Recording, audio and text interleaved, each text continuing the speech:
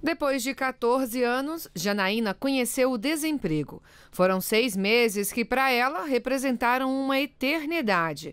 Situação que mudou em janeiro, quando ela foi contratada por uma empresa de tecnologia. Além de ter sido a realização de conseguir um emprego, conseguir algo que realmente é, você sai de casa feliz para fazer.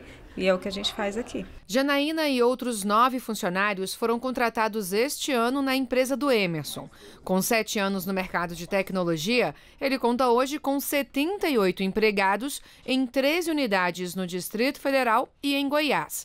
E quer expandir mais o negócio. Esse ano, particularmente, a gente está fazendo uma expansão mais audaciosa.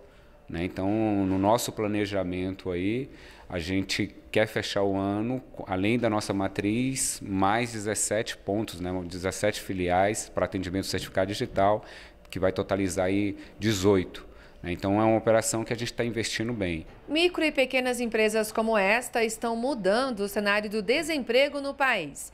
Elas foram responsáveis pela geração de mais de 90% dos empregos formais em fevereiro.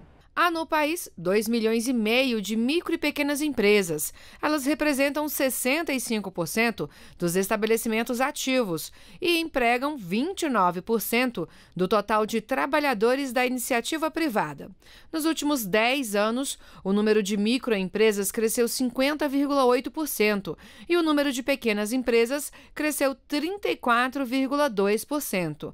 O setor de serviços é o que mais se destaca o setor de serviços ele é um grande alavancador desses dados. Estados como Paraná, São Paulo estão se destacando bastante, Goiás também tem se destacado nos últimos anos.